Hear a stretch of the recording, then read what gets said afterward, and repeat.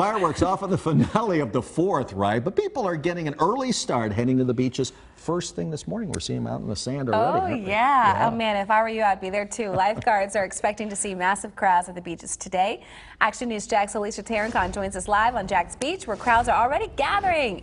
Alicia, you spoke to some people out there. I'd love to hear what they had to say.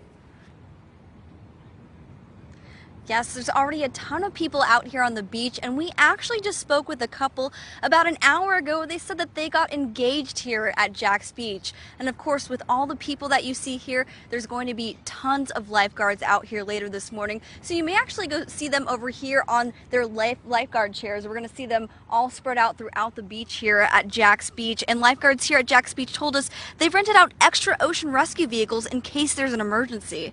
Now, Action News Jax spoke with these lifeguards ahead of the the 4th of July holiday, and they say they'll be offering these green wristbands at their office. They say it'll help with any children that might get lost in the large crowds expected today. Now, parents can put those wristbands on their kids and write down their phone numbers. Now, that as we mentioned, we mentioned before, that couple we spoke to, they got engaged here at Jax Beach, and they say it was the best day of their lives.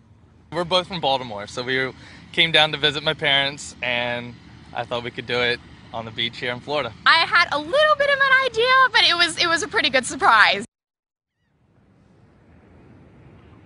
And would you get a look at that ring, how beautiful that ring is? And of course, if we come back out live again, the lifeguards want to remind everybody who's headed out to the beach today to stay hydrated. And of course, you're going to want to use sunblock because it's going to be a hot one today.